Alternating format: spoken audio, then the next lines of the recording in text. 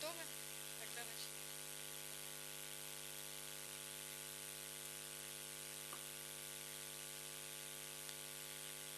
Добрый день, уважаемые гости нашего пресс-центра, журналисты, зрители. Сегодня в городском пресс-центре «Одессит» отчет Департамента образования и науки Одесского городского совета о работе в 2020 году. Отчет представит директор департамента Елена Буйневич. Елена Валерьевна, пожалуйста, вам слово. Доброго дня, шановні присутні, всі ті, хто нас бачить. Безумовно, освіта є одним з найпріоритетніших напрямків життя нашого міста і, мабуть, всієї країни. Тому про те, чим жила освіта у 2020 році, який був без сумніву дуже важким для абсолютно всіх сфер життя людей, і, зокрема, одеситів, я е, розповім трохи докладніше. Е, У нас реалізовувалось декілька програм цільових, які завершили своє функціонування у 2020 році і були продовжені у вигляді нових програм у 2021. Це я Одесит Патріот України, це міська цільова програма розвитку освіти в місті Одесі, це концепція створення додаткових місць в закладах освіти. Ну і звичайно, загальнодержавна концепція реалізації політики у сфері реформування загальної середньої освіти Нова українська школа. З огляду на пандемію COVID-19 та запроваджені карантинні обмеження перед департаментом освіти та усіма закладами комунальної власності постали нові виклики, пов'язані з забезпеченням неперервності освітнього процесу, спроможністю закладів забезпечити якість і сталість здобуття освіти, зокрема у дистанційній формі. Якщо е, в навесні минулого року для нас це був дійсно трохи шокуючий режим роботи, е, у якому ми ніколи не працювали, то вже восени цього року всі одесити могли побачити, наскільки злагоджено наші заклади освіти е, змогли реалізувати саме це завдання і навчати дітей дистанційно. У нас у е, минулому навчальному році навчалося на 3 тисячі дітей менше, ніж у цьому навчальному році. Тобто і цього року кількість учнів одеських шкіл збільшилась майже на 3 е, умовних заклади освіти, тому е, загальна кількість наших вихованців і учнів 137 тисяч 139 дітей. У 2020 році відбулася трансформація мережі закладів загальної середньої освіти. У нас щезли умовно чотири вечірні школи, бо таких е, закладів взагалі законом не передбачено. Однак ми закріпили право здобувачів освіти отримувати е, її і вечірньо у будь-якій школі міста Одеси. Ті будівлі, у яких раніше функціонували вечірні школи, звичайно, ми не втратили, а у них е, створили нові заклади освіти. Це комунальний заклад позашкільної освіти Одеська станція юних техніків Старт, комунальний заклад позашкільної освіти Одеський центр дитячої та юнацької творчості Ювента. Крім цього, ми вже зареєстрували у Київському районі міста е, Одеський палац дитячої та юнацької творчості Біла Акація. Ви всі знаєте, що на території 33-ї школи на вулиці е, космонавта Комарова зараз будується новий дитячий е, центр творчості, і саме про нього я зараз сказала. Все це дозволило розширити мережу закладів позашкільної освіти до 19 закладів. І ми дуже пишаємось тим, що Одеса не тільки над розвитком шкіл та садочків працює, а ще приділяє належну увагу позашкільній освіті е, дітей.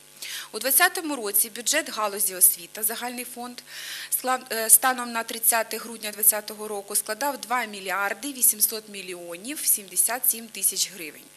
Це майже на 400 мільйонів гривень більше, ніж е, у попередній рік. Найбільша частка видатків даного бюджету припадає на повну загальну середню освіту.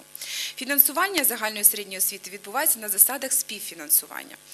Е, Це та субвенція, яку ми отримуємо від держави, вона йде на заробітну плату педагогічному персоналу тільки шкіл і тільки педагогам. Зверніть, будь ласка, на це увагу.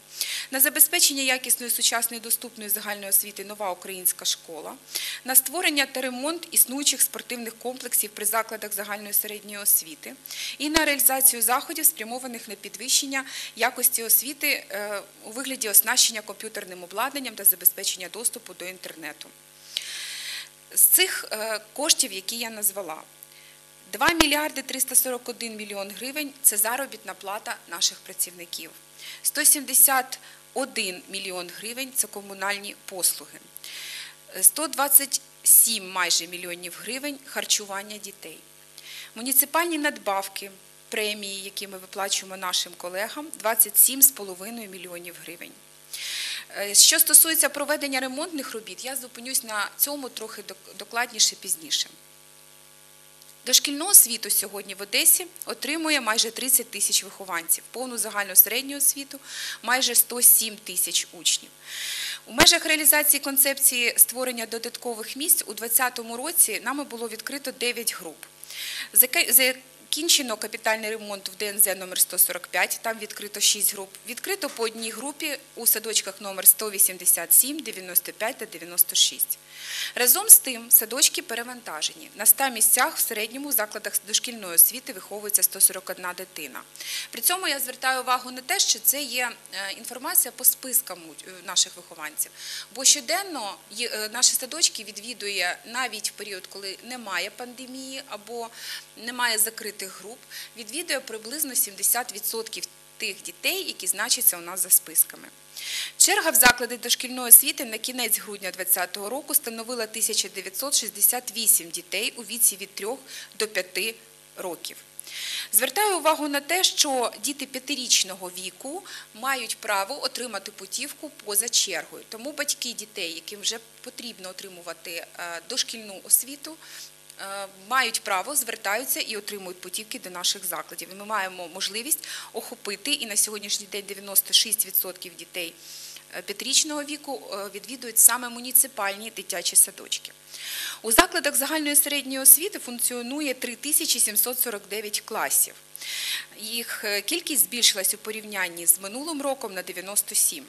Збільшення кількості учнів і відповідно класів пов'язано з міграційними процесами, збільшенням в одеських школах дітей з Одеської області, інтенсивністю будівництва житлового сектору. Така тенденція привела до збільшення кількості шкіл міста, які працюють у дві зміни.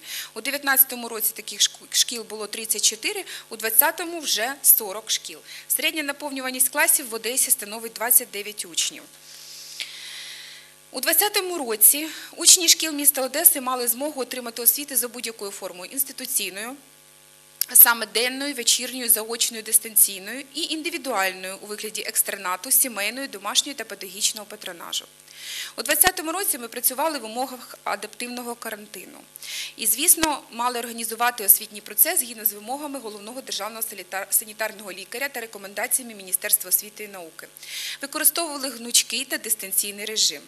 Для, е, для організації якісного навчання в дистанційному режимі більше трьох тисяч педагогічних працівників міста Одеси підвищили свою кваліфікацію на різноманітних інформаційних чи спеціальних курсах у тематичних групах щодо організації дистанційного навчання. Ми свідомо з 1 вересня відкрили вперше е, в Одесі муніципальну школу з дистанційною формою навчання. 21 клас, в яких нав- навчалися 392 учні, були відкриті на 1 вересня. Вже сьогодні кількість сягає майже 500 дітей. І, е, на жаль, е, сьогодні ми вже не маємо можливості приймати в дистанційні класи тих, хто забажає сьогодні, бо Кількість е, педагогів, які там працюють, у нас вичерпана. Вже з 1 вересня е, батьки запитували про це. Ті, хто бажають продовжити навчатися у дистанційній формі, ми відкриємо стільки класів, скільки буде необхідно згідно з заявами е, наших батьків. До цих класів мали можливість піти в першу чергу ті діти. Ну, ми приймали всіх, хто бажає, але в першу чергу скористалися ті діти, ті батьки, які мають супутні захворювання і для яких можливе зараження на ковід було б більш ризикованим ніж для всіх інших дітей. Е, Отримуємо досить схвальні відгуки від е, тих слухачів, які сьогодні здобувають освіту саме в такій формі е, в дистанційній одеській школі. Тому, звісно, цю роботу будемо продовжувати. Вчителями закладів загальної середньої освіти створено банк відеоуроків з різних предметів. У нас сьогодні вже більше 11,5 тисяч уроків розміщено на сайті Департаменту освіти і науки. У нас була мета створити такий репозитарій, де будуть всі уроки з основних тем по всім паралелям з 1 по 11 клас, з 1 вересня до останнього дзвоника. Цю роботу ми завершуємо в кінці березня. Ми її почали в березні минулого року, і в кінці березня цього року в нас вже повний буде е, банк уроків. Також школами міста були обрані наступні електронні освітні платформи, онлайн-сервіси та інструменти, за допомогою яких вони організовували освітній процес у дистанційному форматі. Це і Google Classroom, і Zoom, і Microsoft Teams, і Google Meet, е, і YouTube, і освітні онлайн-портали на урок, всеосвіта, класна оцінка, розділ дистанційна освіта на веб-сайті Департаменту освіти та науки Одеської міської ради. Дуже приємно, що в нас є сьогодні банк даних не тільки уроків, але і відеозанять для вихованців вихованців закладів дошкільної освіти, для дітей з особливими освітніми потребами, майстер-класи. І також дуже приємно, що майже 100 відеоуроків проєкту Одеса проводить урок функціонує на, на каналі ТВ Медіа Інформ. За активну роботу з учнями та вихованцями закладів освіти, люди, які записали уроки для сайту департаменту, а це більш ніж півтори тисячі педагогів міста Одеси, отримали премії. Освітяни Одеси мають певний досвід роботи у дистанційному режимі, і е, ми пишаємо, що напрацюваннями наших педагогів користуються вчителі різних міст України. Зростає кількість дітей, які навчаються в інклюзивних класах. У 2020 році у нас було 280 осіб у такій формі навчались. Це майже в півтори рази більше, ніж попереднього року. Е, Функціонує 37 інклюзивних груп.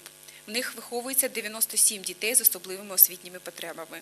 Працює 8 інклюзивно-ресурсних центрів, де отримують послуги е, діти віком від 2 до 18 років.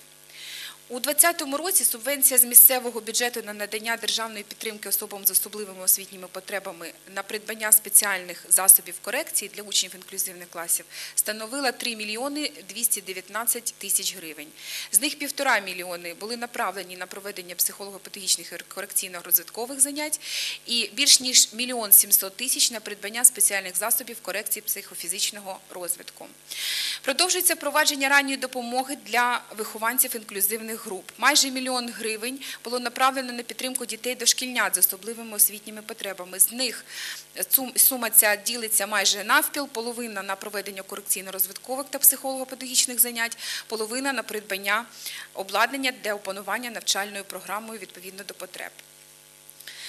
У е, даному навчальному році безкоштовне харчування отримують усі учні перших-четвертих класів загальної середньої освіти. Це майже 44,5 тисячі дітей, серед яких півтори тисячі це діти пільгового контингенту та 5 тисяч дітей пільгового контингенту, контингенту дошкільної освіти. На ці потреби е, виділено майже 130 мільйонів гривень. Це менше ніж минулого року. е, Що ми пояснюємо тим, що е, в цьому році в нас дуже багато було перерв у очному навчанні, тому звісно діти е, харчування на цей період не отримували. Рік майже йшла апробація нового меню шведського стола, і е, вона є дуже успішною. Ми її обов'язково продовжимо. Е, Проблема в тому, що на період карантину шведські столи заборонені, але нове меню, тим не менше, з 1 квітня почне реалізовуватись в Одесі. На останній сесії міської ради було Затверджено нову вартість харчування е, для учнів перших-четвертих класів. Якщо раніше це було е, 10,70, то тепер це, ця сума майже вдвічі, це буде 17,50, збільшується. І меню, яке ми пропонуємо, саме є тим, яке було опрацьовано в 10 навчальних закладах е, протягом нашого експерименту. Як сьогодні живе позашкільна освіта? 2182 гуртки, майже 40 тисяч дітей, це 40% від е, загальної кількості наших дітей, мають можливість відвідувати наші заклади позашкільної освіти. 71 колектив мають звання народного зразкового. І е, Кількість цих гуртків збільшується, як тільки ми відкриємо новий заклад позашкільної освіти, там будуть гуртки е, і клуби за усіма абсолютно напрямами мистецтва. І крім того, дуже приємно, що ми вже відкрили в Одесі е, гурток з робототехніки та STEM-лабораторію, яка функціонує на базі станції юних техніків на вулиці Паустовського. Щодо досягнень наших дітей.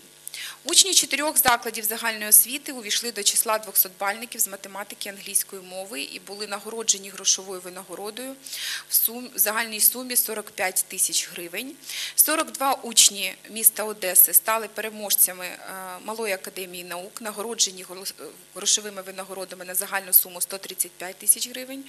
Наші учні є переможцями конкурсів «Об'єднаємося, брати мої», «Кобзар і сучасність», міжнародного мовно-літературного конкурсу учнівської та студентської молоді імені Тараса Шевченка, міського етапу обласного заходу учнівських колективів Земля наш спільний е, дім та 21-го міжнародного конкурсу з української мови імені Петра Яцика. Дуже приємно, що цього року наш учень 38-ї школи отримав диплом е, за перше місце у міжнародному конкурсі з української мови імені Петра Яцика та отримує зараз стипендію президента України.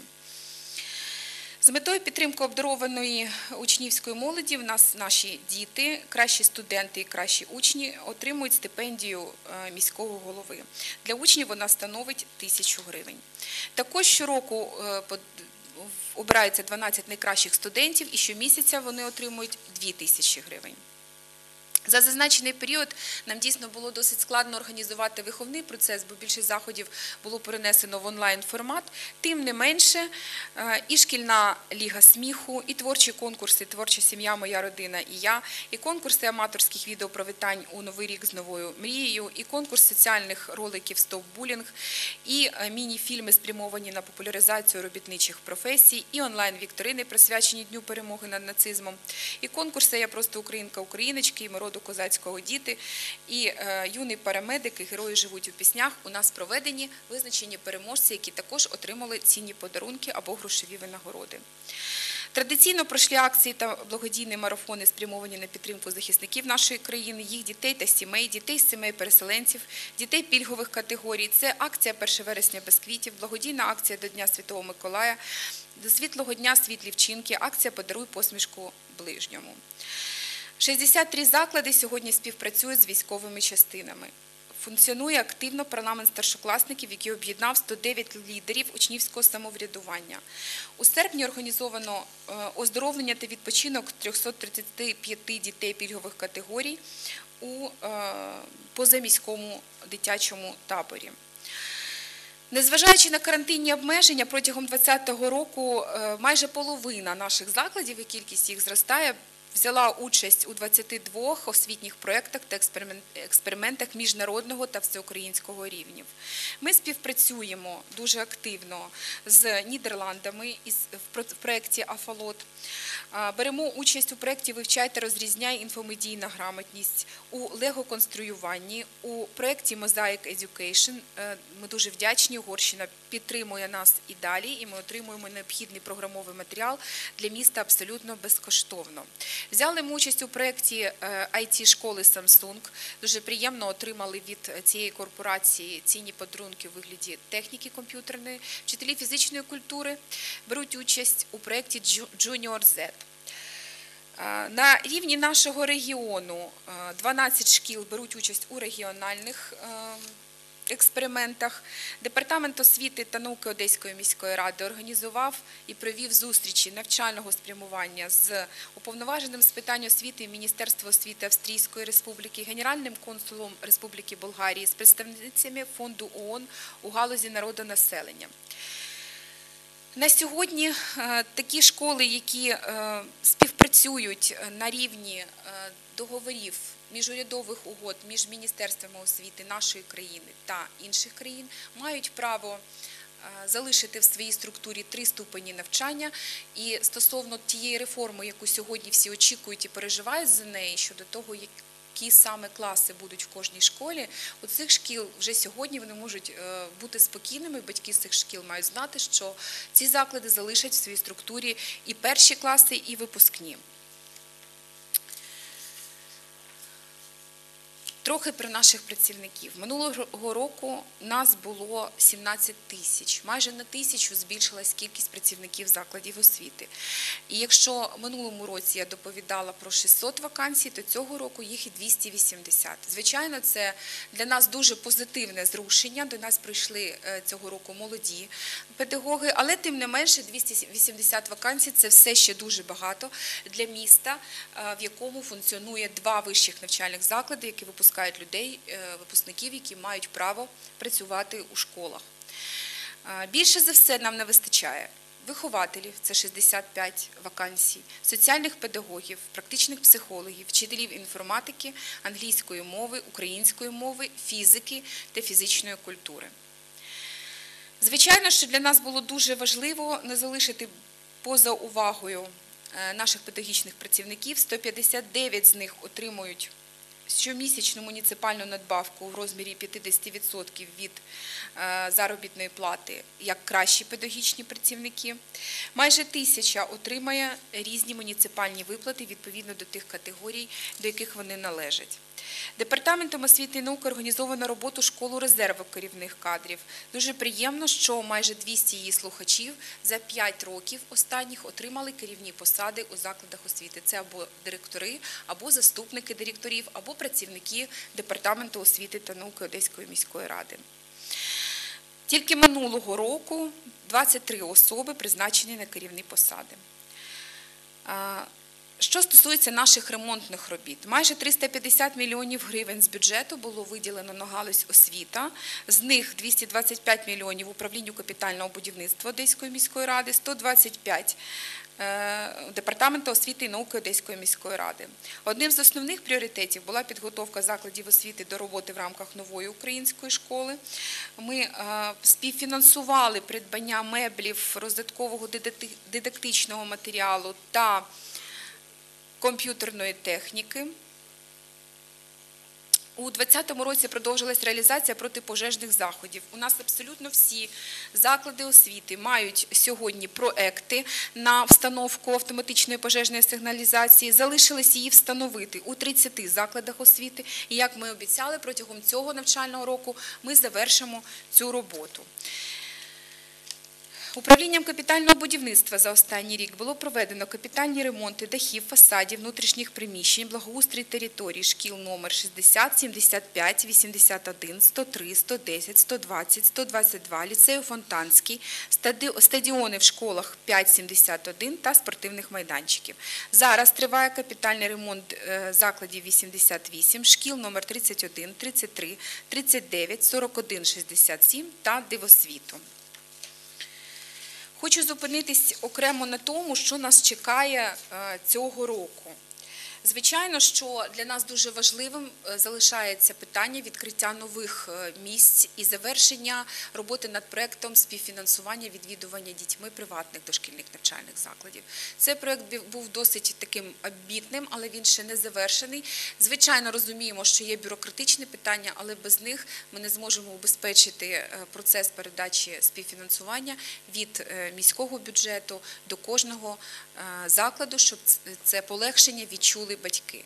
Крім того, незавершеним залишається в нас питання забезпечення дітей безглютеновим та безлактозним харчуванням.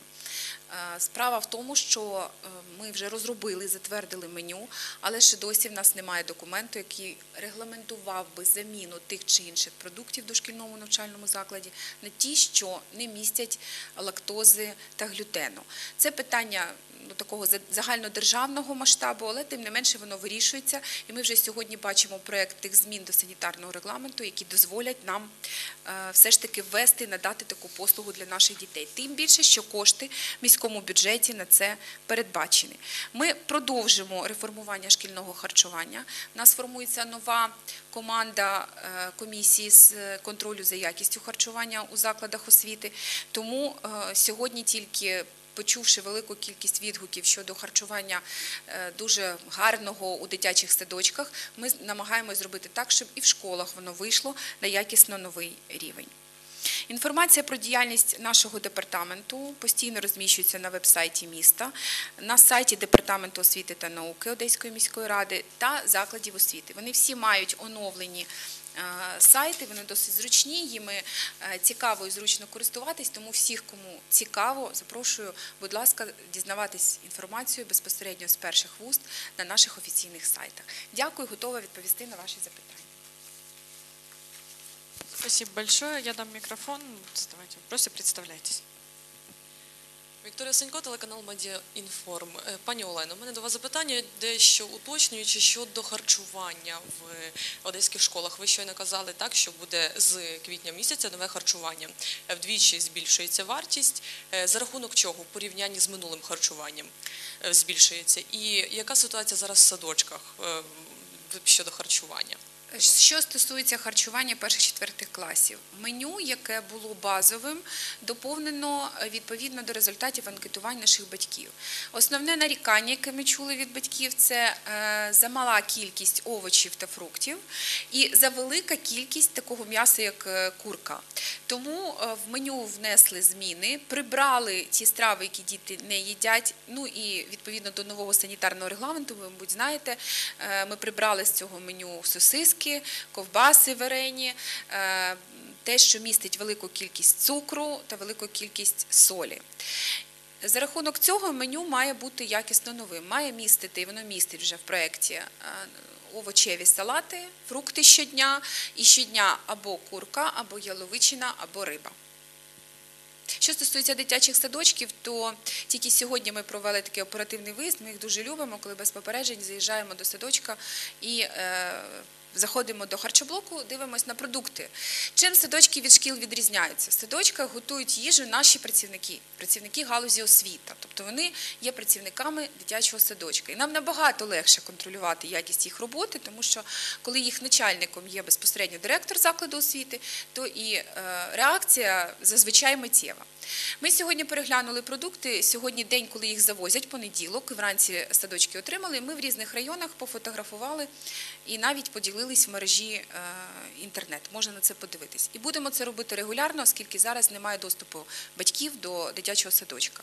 Так от, продукти завозять усюди однакові. Абсолютно однакові, можуть відрізнятися набори, е, зважаючи на те, що замовив садочок. Одному сьогодні риба, в іншому сьогодні е, завезли курку. Можуть відрізнятися фрукти. Десь привезли банани, так як замовили, десь привезли апельсини, так як їх замовили. Але якість продуктів висока і. Звичайно, мені дуже приємно було навіть сьогодні почитати у Фейсбуці відгуки батьків щодо харчування в садочках, саме в садочках. Але є і нарікання, звичайно. Тому незрозуміло, як з однакового набору продуктів можна приготувати абсолютно різної якості страви. І це, звичайно, питання контролю директором закладу освіти, нашого контролю. Тому ми і просимо батьків оперативно повідомляти, де в садочку, на їх думку, годують негарно. Сьогодні відповідала на питання батьків, що чому консервація дітям не можна оцет, одразу і через за вашою допомогою або про те, що е, багато рослинних жирів. Повідомляю одразу, що ми купуємо. е, Продукти високої якості, ніякого маргарину в садочках немає, там тільки масло е, селянське. І е, що стосується того набору продуктів, які ми показали, то звичайно для нас, як для мам, для, для господарок, дуже важливо, щоб це було не просто якісно, але й смачно приготовано. Тому, будь ласка, там, де є проблеми, повідомляйте нам про це. І ще одне, будь ласка, запитання щодо дистанційного навчання. Деякі батьки нарікають, що вони не задоволені цією формою, нібито їх діти стали менш добросовісно навчатися, менш контрольовані. Е, Скажіть, будь ласка, чи будуть якісь введені, можливо, методи повторення цієї програми, яка була під час дистанційного навчання, і, можливо, просто практичні рекомендації батькам, як підвищити їхній рівень, який, можливо, знизився навчання під час дистанційного навчання. Ну я одразу хочу сказати, що цілком погоджуюсь з тим, що очне навчання важко замінити. Хоча є досить велика група батьків, які не хочуть повертатися до очної форми навчання. Ну, Це зазвичай люди, або у яких діти е, вже не в першому класі можуть самостійно залишатися вдома, і є достатньо самодисциплінованими. Бо все ж таки більшість дітей потребує е, корекції, нагляду певного певної співпраці постійної очної з дорослою людиною. І там, де батьки працюють, я розумію, що залишити дитину вдома і гарантувати, що вона у визначений час ввімкне комп'ютер, увійде на урок, не залишить там е, темне віконечко і не буде цей час е, відпочивати десь окремо. Ну це досить важко. Тому так, дійсно, ми всі е, в першу чергу хочемо, щоб очне навчання продовжувалось. Але є реалії, і ми повинні були з них виходити. Кожна школа, кожен предмет має починатись після дистанційного навчання з корекції, з аналізу та корекції тих прогалин, які в дітей можливі після такої тривалої перерви. Е, Батькам дуже раджу е, все ж таки налаштувати систему батьківського контролю. І це стосується не тільки уроків. Ми сьогодні підіймаємо е, дуже серйозно тему різноманітних груп, до яких входять діти в соціальних мережах, е, різних ігор, в яких вони можуть брати участь, і тієї небезпеки, яка за цим всім ховається.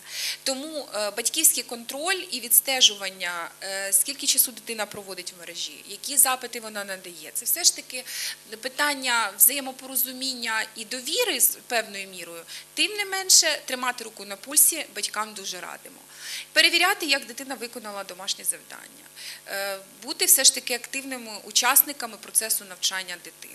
Це дуже важливо. І прошу не забувати, що і закон, і е, норми людські все ж таки ніяким чином наших особистих дітей нікому не передали. Тобто дитина, її е, майбутнє, її виховання все ж таки завдання номер один родини. Тому поцікавитись, а що ж там в школі, які були уроки, чи дитина відвідала їх, чи виконала домашнє завдання. Це, на мою думку, обов'язково. Евгений Коган. Елена Леонидовна, у меня будет ряд вопросов. Ну, первое, как замечание, что, в принципе, это отчет прежде всего про финансы. У вас прозвучало ряд цифр, но, как говорится, понять общую структуру затрат по вашему департаменту и вашего Вы отчета. зашли несколько я вас, поздновато, я вас слушал. в Я начала, онлайн. э, и помню, извините, я сразу отвечу на этот вопрос замечания, помню точно такой же в прошлом году, такой некой дежавю. Э, Тем не менее, все необходимые цифры, которые должны быть в отчете, сколько поступило, сколько потратили, на какие конкретно нужды, прозвучало.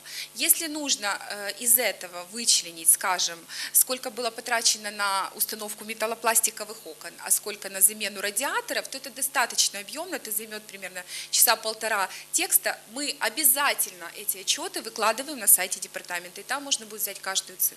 Хотите сказать, что сегодня на сайте департамента можно найти все эти цифры, которые сведены, а не которые разбросаны по в течение по году, да? Но мы же отчеты выкладываем в установленное законом время, Хорошо, конечно. следующий вопрос. Скажите, пожалуйста, э, в принципе, э, вот общая, ц- ну, если можно назвать, какие затраты идут на э, заработную плату?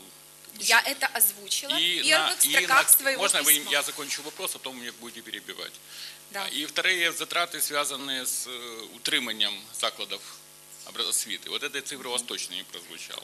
И что делается, какие, какие может быть, э, финансирования на то, чтобы уменьшить это, эти затраты, ну, может быть, какие-то... Я, э, я закончу. уже могу перебивать? Нет. Давайте. А вопросы, связанные с энергоэффективностью, меня очень бы интересовало. Тем более вам такое поручение давалось мэрам, как говорится, в начале прошлого года, этого года. Да. Прошлого. Э, Теперь, если можно, я вернусь все-таки в начало своего доклада и остановлюсь на том, какие цифры прозвучали. Возможно, просто вы шли как раз и не услышали. Заробітна плата педагогічних працівників 2 мільйони 341 тисяча 472 гривні. Утримання закладів освіти 171 мільйон 50 509 тисяч 80 гривень. Е, Що стосується енергоефективності, от якраз у комунальних послугах у цьому розділі є стаття, яку ми економимо. У нас у 45 закладах освіти вже встановлено системи енергозбереження. Це і садочки, і школи. У кожному такому закладі економія по бюджету становить щомісяця більш ніж 20%. Тобто, якщо взяти за рік, то по кожній школі майже 200 тисяч гривень у нас є економії бюджетних е, коштів. Якщо помножити це на кількість закладів, то ви побачите ту, то, той рядочок, який в нас записаний як економія, е, що стосується саме енергозбереження. Частина цих закладів ще не отримала термомодернізацію фасаду. Це дуже важливо. Мені здається, що і ми порівнюємо цифри економії там, де вже термомодернізований фасад, то там, звісно, і цифри економії значно більші, ніж у тих школах, де просто встановлені системи терморегуляції, а фасади ще залишаються е, застарілими. Е, Є більше е, втрати тепла, тому, звичайно, і економія значно менша. Е, На всі питання відповім. Нет еще. Скажите, вот в принципе то, что дети обучались онлайн, в принципе затраты на коммунальные услуги по школам должны были уменьшиться? Да, Сколько? они уменьшились. А если такая цифра существует? Значит, э, затраты по школам уменьшились только в разрезе воды употребления воды и электроэнергии. Естественно, по теплу, то, что вы спрашивали изначально, да, там, где идет энергосбережение, что касается тепла, то мы не уменьшали теплоподачу в школах э, при отсутствии там детей. Ну, во-первых, потому что там находились педагоги, которые читали оттуда уроки онлайн, а во-вторых, потому что это вполне ну, неразумно и может привести к э, нарушениям потом в системе теплоснабжения. Что же касается экономии электроэнергии и воды, то э, я, к сожалению, не могу вам сейчас назвать такую цифру, но обязательно ее уточню для вас. Что следующий вопрос. Скажите, вам давалось поручение о том, чтобы определить, какие затраты несет городской бюджет на обучение детей, которые не являются жителями города, а расположены рядом территориальных громад. Вот, в принципе, такая цифра есть, и как реш- будет решаться вопрос с оплатой их обучения? Мы выносили этот вопрос на э, исполком, утверждали э, затраты, которые несет город э, по обучению детей, независимо от того, где они живут. Да? Ну, то есть, грубо говоря, сколько стоит обучать ребенка. Обучать ребенка в школе стоит почти 500 гривен в месяц. Это не включая заработную плату и ремонтные работы, потому что заработная плата – это субвенция, ремонтные работы делаются в целом, то есть мы ее на ребенка не делим. Да? А воспитание ребенка в детском саду стоит 2500 гривен. Ну, почему такая разница, я думаю, понятно, потому что зарплата уже не из субвенции из городского бюджета, и потому что город компенсирует часть питания, часть стоимости питания для ребенка. С учетом того, что в детских садах города Одессы у нас воспитывается около 3000 детей, которые живут не в Одессе, Соответственно, затраты на их э, пребывание э, в городе – это 3000 умножаем на 3000, 7, 70, э, почти 9 миллионов, да, 7,5 миллионов в месяц. 3 умножаем на 2,5, получаем 7,5 миллионов в месяц. И э, как мы будем получать эти деньги от этих громад, этот вопрос остается открытым, но что я вам хочу сказать в плане э, Наверное, может быть, нас смотрят представители объединенных территориальных громад, которые находятся рядом с Одессой. Э, Если закон Украины про э, повну загальну середню освіту дает нам возможность не принимать в школы города детей, которые не являются жителями города, если нет мест, то закон про дошкільну освіту такого права не предоставлял. И э, люди, которые регистрировались в нашу электронную очередь, получают путевки независимо от места регистрации. Мы ждем в 2021 году новый закон про дошкільну освіту. И вот в проекте этого закона предусмотрено, что и такое право у нас будет. И тогда, э, если мы в школе не можем отказать по таким гуманным соображениям, мы понимаем, что детям просто негде учиться. Но если в Радужном нет школы, то она ну, никак не появится в ближайшее время, а дети должны школу посещать то э, в, са- в садах мы будем принимать в первую очередь э, жителей города. И тогда очень остро станет вопрос обеспечения, гораздо острее, чем он есть сейчас. Для Одессы это будет облегчением, потому что э, для жителей исключительно города нам мест хватит. Э, Следующий вопрос. Скажите, вот у вас есть понимание, сколько финансов э, собрали родители для ну, нужд школ? И как они были использованы? Я думаю, что ну, тут не нужно мое понимание, тут нужно открыть э, сайт любой городской школы, и э, я абсолютно уверена, мы это проверяем, э, на сайте каждой школы есть отчет о том, сколько средств родителями было собрано в виде благотворительной помощи школе, в разрезе того, на что они пошли. То есть тут мое понимание, как бы, ну я Не думаю, ваше, будет а излишним департамента. прежде всего. Ну, вы же меня спрашиваете не просто как да, здесь присутствующего человека, а как представителя департамента образования. Поэтому мое понимание, понимание департамента э, не должно строиться на догадках. Это можно открыть и увидеть в- отношении любого учебного учреждения. И, наверное, так сказать, крайний, может быть, вопрос. Э, В принципе, для организации обучения онлайн департамент какие-то средства затрачивал на помощь тем семьям, которые не могут обеспечить, э, так сказать, необходимым оборудованием своих детей, организации там Департамент образования не может остального. э, тратить средства бюджета на обеспечение э, кого-либо дома, потому что у нас нет такой функции, мы не департамент социальной защиты, но э, тем не менее мы привлекли людей неравнодушных, которые могут помочь семьям в тяжелых ситуациях и откликаются на просьбы департамента образования более 30, 34 машины, так назовем условно. Это и планшеты, и компьютеры. Из них 22 были абсолютно новые, а часть это были уже техника, которая была в использовании. Это ноутбуки и стационарные компьютеры мы передали в семьи, которые остро нуждались в таких гаджетах. Как правило, это многодетные семьи, где много детей являются школьниками. И, конечно, даже имея компьютер, выйти одновременно на уроки было очень сложно. Гужева Анастасия, газета «Общественный прибой». А, Я правильно понимаю, что мы сейчас можем говорить о том, что у нас уже есть полноценная онлайн-школа? А, Расскажите чуть подробнее, пожалуйста, про ее работу, какие сейчас классы организованы, как вообще коммуникация организована, как они будут сдавать контрольные работы. И можем ли мы говорить о том, что уже в этом году, да, в новом сентябре, уже будет э, новый набор именно в онлайн-школу? Да, мы можем говорить о том, что у нас есть муниципальная онлайн-школа, она функционирует на базе нескольких учебных учреждений, есть классы с 1 по 11, Э, они уже сдают на протяжении этого учебного года, начиная с 1 числа, с 1 сентября контрольные работы, тесты и так далее, и э, дети будут оценены, они оценены за первый семестр, получат годовые оценки, и э, да, конечно, 1 сентября мы продолжим набор в эту школу, и все те родители, которые посчитают нужным либо остаться в ней, либо привести туда в первый класс ребенка, могут туда попасть. Мы обязательно разместим, э, как и в прошлом году сделали, об этом информацию на официальном сайте города, на сайте департамента, в социальных сетях, обратимся к вам э, с тем, чтобы растиражировать эту информацию, люди знали, куда им нужно подъехать, чтобы устроить ребенка в такую школу.